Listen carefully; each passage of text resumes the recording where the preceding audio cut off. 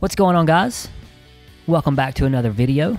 My name is Kevin Griffith and this is the Hollar Barbecue. Today I got a really quick recipe for you to get ready for the Super Bowl. This is going to be some bacon wrapped jalapeno poppers, but done my way. And let's start off with ingredients first. So first thing I got some Monterey Jack cheese, some bacon, just regular jalapenos, some cream cheese, that's what we're using for the jalapenos themselves. And then optional, I'm going to make a dip for them, which I need some um, Greek yogurt and then some of this wild tree dip blend. This is the dill dip blend. And then I'm also going to be mixing inside the cream cheese some of their garlic and herb blend. Now, this stuff here is definitely optional because everyone's not going to have it. But let me tell you, so what Wild Tree, what it is, is basically um, one of the companies that comes into your house and does basically like a party where they have consultants that sell stuff to you. Now, one of my friends sells this stuff, and I'll be putting her information down below. If some of this seems interesting to you and you'd like to buy some, you don't have to have a party. You can just uh, straight buy the stuff.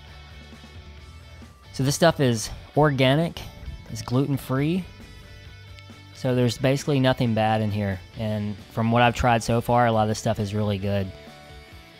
So let's get our dip made first. And like I said, this is totally optional. This isn't something that's required. Just if you want to give your guest, you know, something different, something, um, another option to choose from.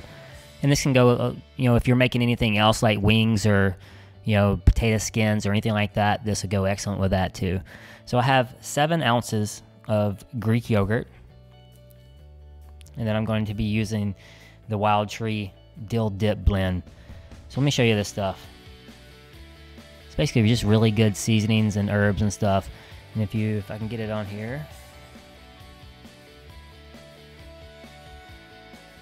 So there's your ingredients. All organic ingredients and there's no crap in there. So we need two teaspoons of this.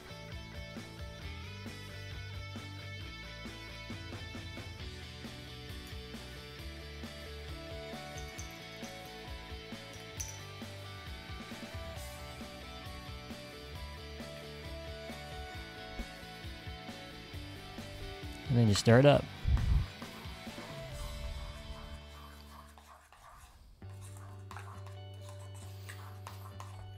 You know, anytime you make a dip or anything, it's good to always, you know, chill it before you use it. So that's what we're gonna do. I'm gonna get this in the refrigerator, and then we'll get the poppers made, and then we'll break it back out. All right, next we're gonna make our filling for our poppers. So I have just eight ounces of cream cheese. I'm actually using light cream cheese. You can use whatever you want. And to that, I'm going to be adding two teaspoons of Wild Tree's garlic and herb blend. Now, once again, this is totally optional. Um, one thing I have done in the past, if you have any like dry ranch seasoning, um, you could add a couple of uh, tablespoons to it, and it actually comes out really good. We're gonna add two tablespoons of this, or teaspoons, sorry.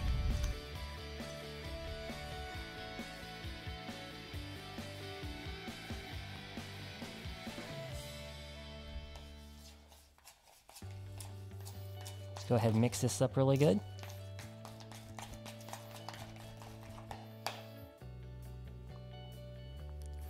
Well, let me show you what's in this one.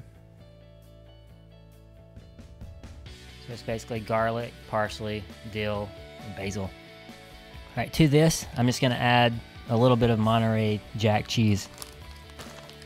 You don't have to add that much, just uh, I'm just eyeballing it just to mix them in.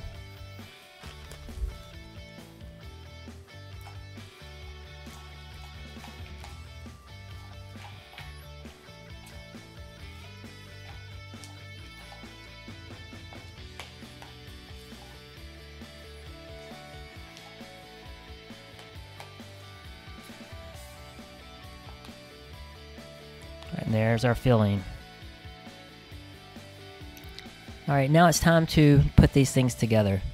And what I found is easiest for me is just to use a regular butter knife. Just take out some of your filling.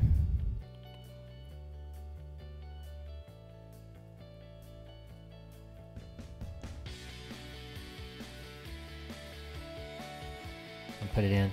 Some people like to use piping bags. Um, sometimes I feel that if you put too much cheese in it, it won't squeeze very good, so I like to use a butter knife.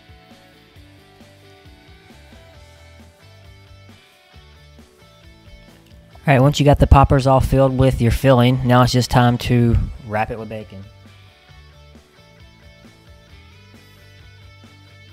And all I do is I just take the, I do one piece of bacon basically per popper.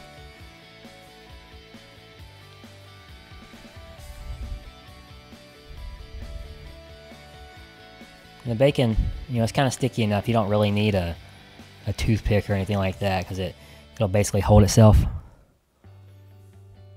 And when you get your poppers all wrapped in bacon, um, one last flavor layer that you want to put on, just grab your favorite barbecue rub. I'm kind of partial to the Gorilla Grills all-purpose rub. It's really good. It's got some sugars in there that go really good with uh, bacon. So just a, a tiny, tiny coating.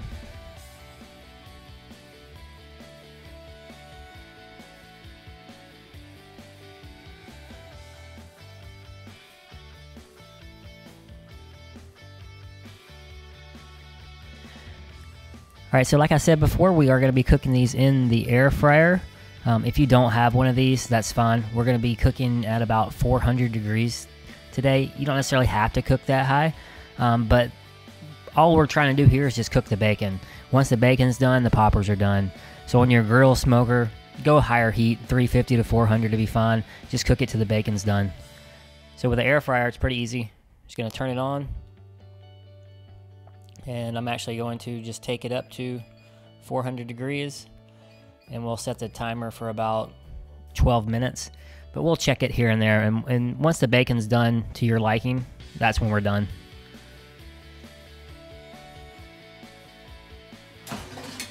So air fryer has a basket just like a real fryer. And we're just going to layer them in there Now, one tip for an air fryer: don't overstuff the basket. It will, it won't cook as good if it's got too much stuff in there. So I can't get them all in here on this one round, but that's okay. And we'll, we'll talk about times once uh, we get them done and the bacon's to our liking. So you just slide the basket in, hit the power button. We'll check on them in about maybe five minutes. All right, it's been about six minutes. Let's go ahead and uh, take a look just to see how they're cooking. So with the air fryer, you just basically just pull it out. So we can see.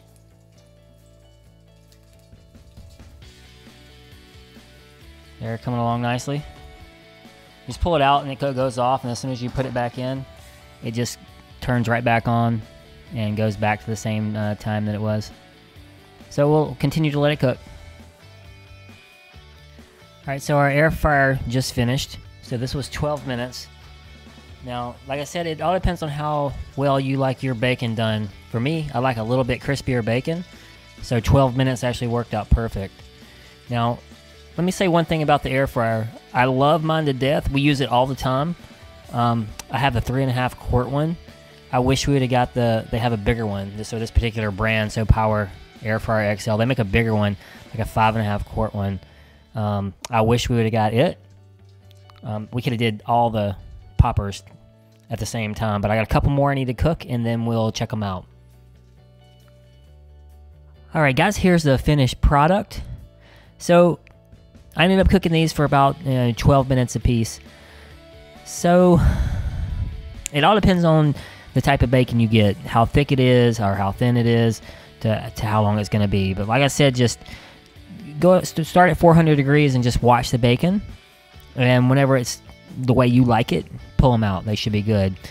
Now you're probably going to get some of the cheese is probably going to ooze out like you see here. Um, just go ahead and scrape that out of the pan. Take it with you. It's still good.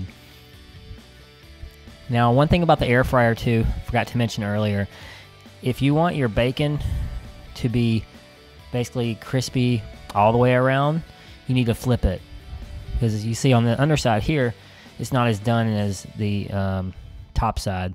But for me, that's fine. I don't, not necessarily worried about flipping them over. And if you if you have one of the the smaller air fryers like I do, and you have to do more than one batch, remember your second batch because your unit is already heated up. It's probably going to cook a little bit faster than the first one. So just really watch the second batch um, so you don't overcook them. So let's go ahead and try one of these. I'm gonna go ahead and give this a bite. Right here. Looks pretty good though. Still got plenty of plenty of cheese on the inside of it. Let me go and try it.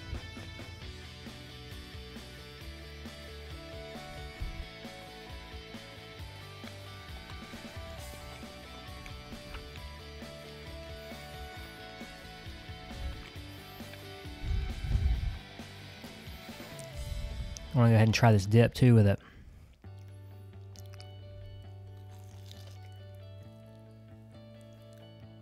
All right, all I can say is you can't go wrong with jalapeno poppers when you got guests over, watching football games, any sports for that matter.